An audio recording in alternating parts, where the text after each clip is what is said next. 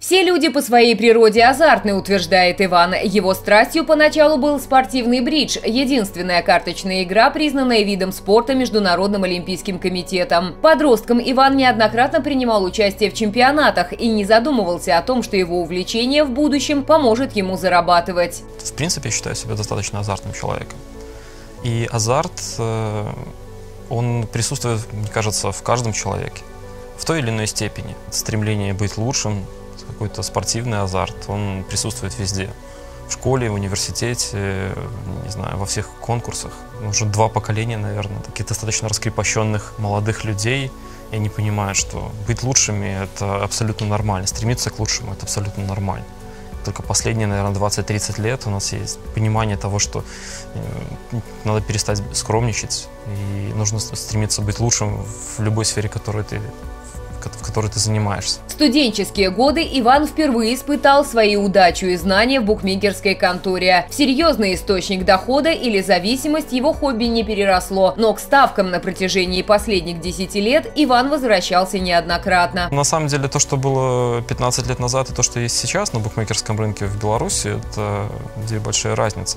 Тогда это были обычные там несколько будок, у которых тогда еще там два, фактически два оператора, статус-кво и плюс-минус, сумасшедшие очереди где-нибудь в переходе метро, в будке из э, людей, которые пытаются на что-то поставить. Первые попытки поставить ничего не приносили, это было просто увлечение, потому что 6 лет играл в футбол и считал, наверное, как любой футболист, у нас, наверное, вся страна, все болельщики знают, как играть, только те 11, которые выходят на поле, не знают. Дала какую-то вот иллюзию о том, что ты можешь поставить, успешно выиграть и безбедно существовать, скажем так. Ничего не приносило, приносило, скажем, какое-то моральное удовлетворение, но о том, чтобы зарабатывать э, постоянно, речь даже не шла. Тратить много времени на изучение всех стратегий у него не было желания, и молодой человек сосредоточился на работе в другой сфере, пока друзья не обратились за помощью в создании букмекерского бизнеса. Так Иван оказался по другую сторону баррикад. Абсолютно любое занятие в жизни, для того, чтобы оно приносило успех, оно требует, с моей точки зрения, э, полного погружения. Ты не можешь быть специалистом наполовину. Ставки, э, как я считаю, как и покер, э, это вид деятельности, если ты хочешь быть профессионалом в этой области, ты должен читать очень много. Ты должен ну, постоянно держать себя в тонусе. Ты должен постоянно тренироваться. Это затягивает. Если ты хочешь играть, ты 5 часов в день – это ни о чем. Примерно так же, как в ставках. Это полноценная работа. Для того, чтобы выигрывать, тебе нужно быть э, лучше, чем 90% э, игроков. Для этого нужно владеть информацией, для этого нужно иметь хорошую голову, математическую подготовку. Да, выиграть может абсолютно любой, даже в казино. Но теорию вероятности, математическую статистику, скажем так, никто не отменял. Поэтому э, это полноценная работа это тяжелый умственный труд. Изучив механизмы игры с обеих сторон, Иван пришел к выводу, что рассчитывать на крупные выигрыши в белорусских реалиях не приходится. Игроков, которые всегда оказываются в плюсе, очень мало, да и тем необходимо уметь управлять своим капиталом и часто менять стратегии. На сегодняшний момент я не знаю ни одного человека, который выиграл бы даже, скажем, 100 тысяч долларов, на, играя на ставках э, в какой-то достаточно короткий период. Тех, кто до последнего надеется на большой куш множество, но в силу ограничений со стороны законодательства и низкого уровня игроков похвастаться действительно солидным заработком могут лишь играющие за пределами страны. Можно долго мечтать о квартире или машине, купленных на выигрыш, реальностью они станут для единиц и только для профессионалов. Да, выигрывать 500 долларов и больше там а, абсолютно реально. В первую очередь нужна очень четкая понимание финансовой природы и управление, управление своим капиталом. Это намного важнее, как, э, чем э, э, понятие тонкости вид, того или иного вида спорта и анализ информации. Выигрывающих игроков по в среднем там, от 7 до 10 процентов. Тех, кто может говорить, что я успешный игрок, и говорить о том, что я зарабатываю этим на жизнь, это единица.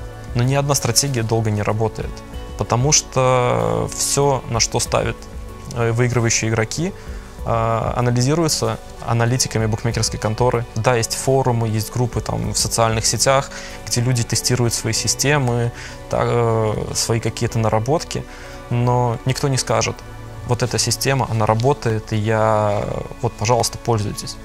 Ну, такого нет. Как отмечает Иван, в последнее время интеллектуальный уровень игроков падает. Для того, чтобы выигрывать, нужно постоянно совершенствоваться и изучать серьезную литературу, а не сидеть на форумах и искать легкие пути. Конечно, это не касается тех, кто воспринимает ставки как развлечение или не может остановиться из-за зависимости. Сегодня игроки намного слабее, чем они были раньше несмотря на то, что за эти 10 лет количество литературы, анализа и так далее, и так далее в общем доступе получилось ну, как бы намного больше. Люди перестают читать, люди перестают думать. Для того, чтобы зарабатывать на ставках, ты должен посвятить на анализ одного события как минимум там, минут 30-40, найти необходимую информацию, посмотреть движение рынка, что происходит в мире, как реагирует рынок, то сейчас человеку проще открыть э, группу ВКонтакте или это какой-нибудь форум, прочитать, что ну вот кто-то сказал, э, кто-то сказал, что на сегодня вот эта ставка является лучшей человек, и человек этому верит. Как один из основателей первой интернет-платформы, посвященной букмекерскому бизнесу, Иван выступает за популяризацию здорового азарта и развитие игровой среды в Беларуси, но поддерживает действующие ограничения в стране. В первую очередь возможность добровольного внесения заядлого игрока в официальный черный список. Когда его вводили, я не думал, что это, это будет работать. Но за первые пять дней 200 заявлений, а за первый месяц более 2000 сколько на сегодня таких людей, кто подал заявление о самоограничении. То есть это значит, что человек не в состоянии адекватно реагировать на э, исправляться, скажем так. Игра является проблемой, проблемой их семей и тех, кто, кто рядом с этими людьми. Если говорить, есть острая ли проблема игромании стоит в сегодняшнем обществе, я скажу да.